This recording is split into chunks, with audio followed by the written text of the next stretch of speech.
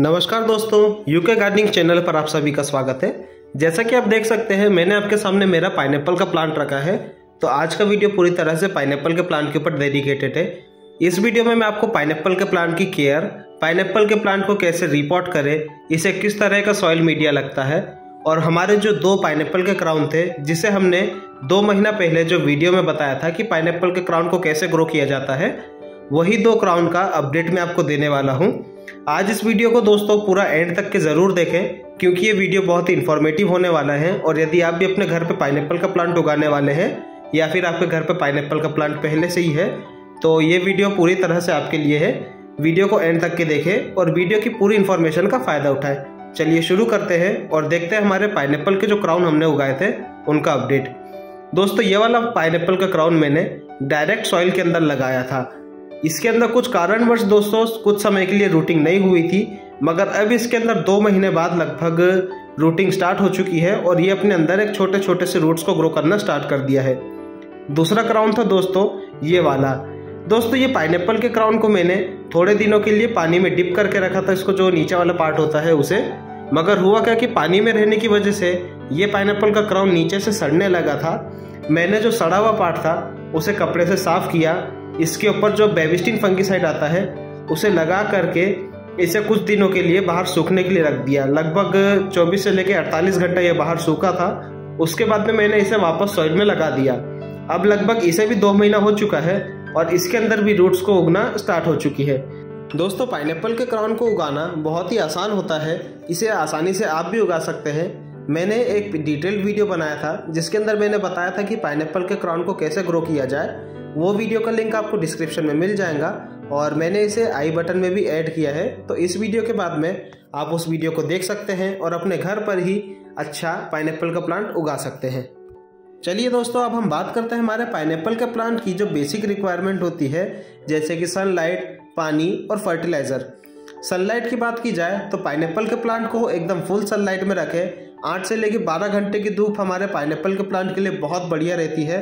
ये धूप के अंदर हमारे पाइनएप्पल के प्लांट की ग्रोथ और अच्छी होती है और पाइनएप्पल का प्लांट एकदम हेल्दी बना रहता है। पाइनएप्पल के प्लांट को ज़्यादा पानी नहीं लगता है। यदि आप अपने पाइनएप्पल के प्लांट में दो दिन के अंदर एक बार भी पानी देते हैं, तब भी आपका पाइनएप्पल की ग्रोथ बहुत बढ़िया रहेगी और आपका प्लांट एकदम हेल्दी बना रहेगा। चलिए दोस्तों, अब हम देखते हैं हमारे पाइनएप्पल के प्लांट को वीकली बेसिस पे कौन कौन से फर्टिलाइज़र देने चाहिए। और कौन कौन से फर्टिलाइज़र को देने से हमारे प्लांट के अंदर क्या क्या चीज़ों की रिक्वायरमेंट फुलफिल होती है?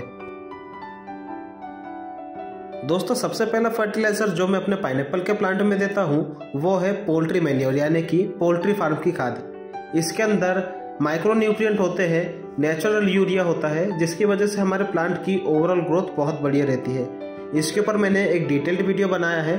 उस वीडियो को आप इस वीडियो के बाद में देख सकते हैं। वीडियो का लिंक आपको डिस्क्रिप्शन में मिल जाएगा और मैंने इसे आई बटन में भी ऐड किया है। अगला जो फर्टिलाइज़र है, वो है बोन मील और नीम खली का मिक्स दोस्तों बोन मील के अंदर कैल्शियम होता है फॉस्फोरस होता है, जिससे हमारे प्लांट्स की जो रूट होती है, वो अच्छी तरह से ग्रोथ लेती है।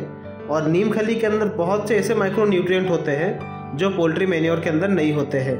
यानी कि ये फर्टिलाइज़र हमारे प्लांट की जो बेसिक रिक्वायरमेंट होती है माइक्रो न्यूट्रिएंट की ये पूरी तरह से उसे सेटिस्फाई करता है।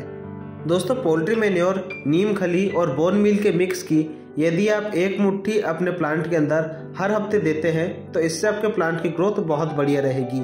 चलिए, अब हम देखते हैं हमारा अगला फर्टिलाइज़र कौन सा है।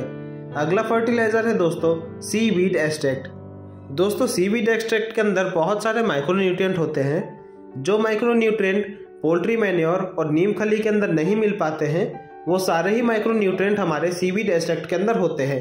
पाइनएप्पल के प्लांट में सीवीड एक्सट्रैक्ट का स्प्रे पंद्रह से लेकर बीस दिन के अंदर एक बार आप कर दें तो इससे आपके पाइनएप्पल की ग्रोथ और अच्छी रहेगी और आपका प्लांट एकदम हेल्दी बना रहेगा। चलिए, अब हम देखते हैं हमारे पाइनएप्पल के लिए किस तरह का सॉइल मीडिया बनाना चाहिए।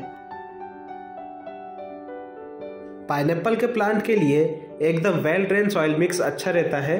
ऐसा सॉइल मिक्स जिसके अंदर ज़रा भी वाटर रिटेनिंग प्रॉपर्टी है तो उसके अंदर हमारा पाइनएप्पल का प्लांट मर सकता है। सॉइल मिक्स को बनाने के लिए मैं यूज़ कर रहा हूँ बालू रेत गार्डन सॉइल गार्डन सॉइल के अलावा मैं यूज़ करने वाला हूँ इसके अंदर बोन मील और नीम खली को। बोन मील और नीम खली के ऊपर एक डिटेल्ड वीडियो मैंने बनाया था। उस वीडियो का लिंक आपको डिस्क्रिप्शन में मिल जाएगा और मैंने उसे आई बटन में भी ऐड किया है। बोन मिल की वजह से हमारे सॉइल मिक्स के अंदर कैल्शियम की मात्रा अच्छी खासी रहेगी और जो अगला इंग्रेडिएंट है वो है ये कोकोपीट दोस्तों, इस सॉइल मिक्स में मैं जो भी रेशो यूज़ कर रहा हूँ, वो सारा रेशो आपको डिस्क्रिप्शन में मिल जाएगा तो आप प्लीज़ एक बार डिस्क्रिप्शन चेक कर लें। उसके अंदर ये सारे कंपोनेंट्स का रेशो मैंने बताया हुआ है। दोस्तों, मैंने ये सारे कंपोनेंट को अच्छे से मिला लिया है। अब मैं इस सॉइल मिक्स के अंदर फर्टिलाइज़र मिलाने वाला हूँ। फर्टिलाइज़र के लिए मैं यूज़ कर रहा हूँ पोल्ट्री मेन्योर का। यदि आपके पास में काउडम कंपोस्ट हो किचन वेस्ट कंपोस्ट हो, या फिर वर्मी कंपोस्ट है तो आप उन्हें भी यूज़ कर सकते हैं। ये सारे ही चीज़ों का जो रेशो है, वो रेशो आपको डिस्क्रिप्शन में मिल जाएगा। आप प्लीज़ डिस्क्रिप्शन चेक कर लें। ये सब चीज़ों को मिक्स करने के बाद में हमारा सॉइल मिक्स रेडी हो जाएगा और हम हमारे पाइनएप्पल के प्लांट को इस सॉइल मिक्स के अंदर रिपोर्ट कर सकते हैं। तो दोस्तों, ये देखिए, मैंने मेरे सॉइल मिक्स के अंदर पाइनएप्पल के प्लांट को रिपोर्ट कर लिया है। इसे रिपोर्ट करके मैंने एक बड़े वाले चौदह इंच के गमले में लगाया है। ये गमले के अंदर, हमारे पाइनएप्पल के अंदर एंड में फ्रूट भी आ जाएगा। तो इसके लिए मैंने एक बड़े गमले को चूज़ किया। चलिए, आज की वीडियो को यही समाप्त करते हैं। फिर मिलेंगे किसी नए वीडियो में कुछ नए इन्फॉर्मेशन के साथ में। ये वीडियो पसंद आया हो तो वीडियो को लाइक करें। और यदि आपको गार्डनिंग से रिलेटेड वीडियो देखना पसंद है और आप खुद भी एक गार्डनर है तो प्लीज़ चैनल को सब्सक्राइब करें और बेल नोटिफिकेशन आइकन ज़रूर चालू करें। वीडियो देखने के लिए धन्यवाद। हैप्पी गार्डनिंग आपका दिन शुभ हो।